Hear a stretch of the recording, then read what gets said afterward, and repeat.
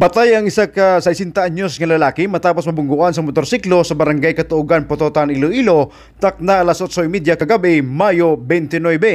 Ginkilala ang biktima nga si Larry Pama, residente sang amo nga lugar.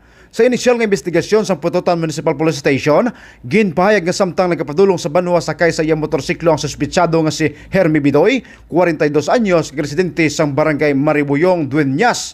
Aksidente sini nga nabungguan si Pama. Bangod sa mabaskog nga impact, nakaangkon sang pilas sa ulo, kag nagkalain-lain nga bahin sang iya lawas ang biktima.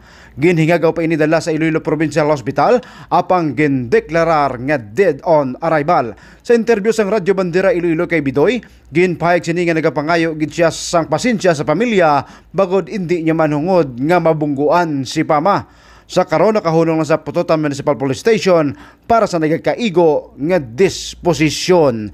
Balita gikan sa probinsya sang Iloilo. Ini si Arnold Cantores Sokenya. Nagabandera sa matuod nga serbisyo publiko kag kalingawan sa Iloilo Radio Bandera.